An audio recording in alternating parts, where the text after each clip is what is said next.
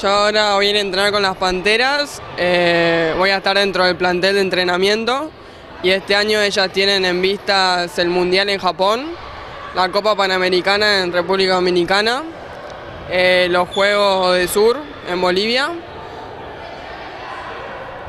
Son eh, competencias importantes. Sí, sí. Y también tengo este año con mi categoría el sudamericano clasificatorio al Mundial. ¿Es la primera vez que te llaman para la, la primera? Fui el año pasado una semana, pero fue como eh, por el mundial, por la el, el nivel que había tenido. Y este año estoy dentro del grupo para entrenar. ¿Esto te acerca la posibilidad de, de poder estar en las competencias que, que enumerabas? Sí, voy a entrenar con las mejores del país, así que la verdad ya entrenar con ella es algo muy bueno porque sé que voy a mejorar mucho y voy a estar entre las mejores jugadoras de la Argentina. ¿Lo, lo esperabas? Te, te sorprendió? ¿Un, un sueño para vos? Y la verdad sí es un sueño, no, no me lo esperaba, pero, pero bueno, muy contenta y bueno, voy a entrenar para poder estar a la altura. ¿A partir de cuándo tenés que ir a, a entrenar con, con las Panteras? A partir del lunes voy a estar dos semanas allá para empezar.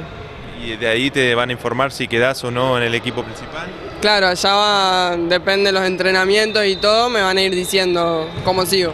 Con tu categoría igualmente también seguís en el seleccionado. Sí, van, van hablando los entrenadores a ver con quién concentro y se van organizando entre ellos, digamos. ¿Cómo fue la, la experiencia de estar eh, esa semana el año pasado con las Panteras? Y fue increíble, la verdad que es otro nivel y hay muchas jugadoras que están jugando en el, en el exterior, así que está muy bueno también porque es una experiencia nueva y aprender mucho de ella. Y bueno, es un orgullo tanto para ahí, para el vóley del, del club y para, para Santa Fe en sí, porque también es en representación de- del nivel que tenemos acá, en lo que es Santa Fe. Eh, y sí, es producto de- del trabajo y de, de la mentalidad que siempre tuvo ella desde chiquita, así que por ahí sorprende y a la vez no sorprende tanto. Sorprende por la edad sobre todo. pues. Sí, sí, eso sí, sí, sin duda, pero bueno, siempre tuvo ella la, la madurez, digamos, para, para, para seguir adelante.